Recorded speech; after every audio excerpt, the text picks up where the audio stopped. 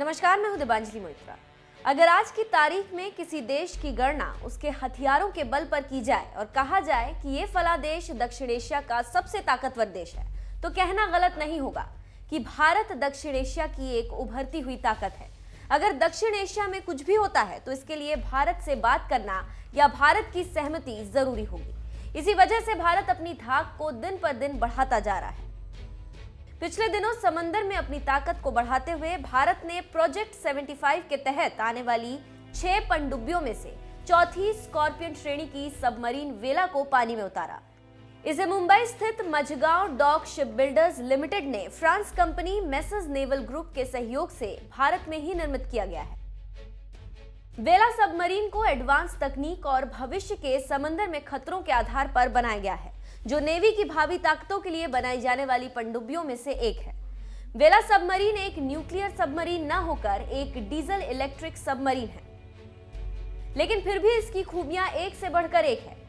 अगर दुश्मन सामने आ जाए तो बचकर जाना मुश्किल ही नहीं, नामुमकिन है। तो आज हम फिर भारत की ताकत के नगीनों में एक, आईएनएस वेला के बारे में बताएँगे, जिसे जानकर आप भी दंग रह जाएँगे।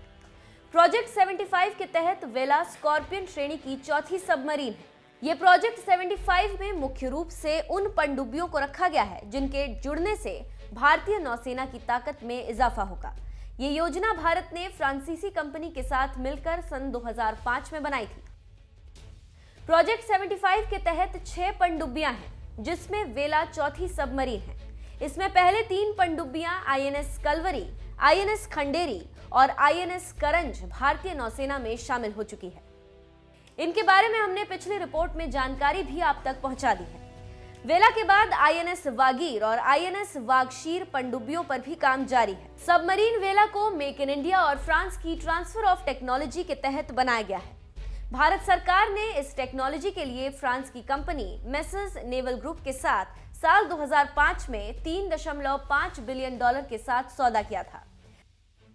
ताकत की बात की जाए तो युद्ध के समय वेला पनडुब्बी दूसरी पनडुब्बियों को तबाह कर, आसानी से दुश्मन को चकमा देकर सुरक्षित बाहर निकल सकती है। इसके अलावा यह आधुनिक टेक्नोलॉजी की वजह से दुश्मन को ढूंढकर सटीक निशाना लगा सकती है। ये टॉर्पीडो और ट्यूब लॉन्च एंटीशिप मिसाइल से हमला करने में भी माहिर है। आईएनएस वेला में आईएनएस वेला स्टेल्थ और एयर इंडिपेंडेंट प्रोपल्शन जैसी कई तरह की आधुनिक तकनीक का इस्तेमाल किया गया है। जिसकी वजह से ये किसी भी रडार या खोजी यंत्र की पकड़ में नहीं आ सकती। ये सबमरीन की सबसे बड़ी खासियत है।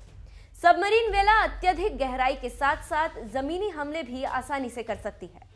सबमरीन हमलों को बड़े ही चुपचाप तरीके से अंजाम दे सकती है, जिसकी दुश्मन को भनक तक नहीं लगती। सबमरीन वेला आसानी से खुफिया जानकारी हासिल करने, माइंस बिछाने और एरिया सर्विलांस जैसी खूबियों से लैस है।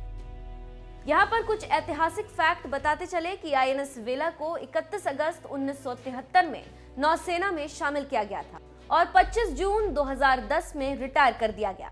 तो इस तरह आईएनएस वेला ने कुल 37 सालों तक भारत की सेवा की। लेकिन अब 9 साल बाद फिर 2019 में इसे हाई टेक्नोलॉजी के साथ एडवांस रूप में लॉन्च किया गया है। भारत की सेवा में फिर से शामिल कर लिया गया है। तो आप समझ सकते हैं कि भारत की ताकत हवा से लेकर ज़मीन तक और ज़मीन से लेकर पानी तक क्या है? अब दुश्मन भारत की तरफ़ आँख उठाकर देखने से पहले दस बार सोचेगा।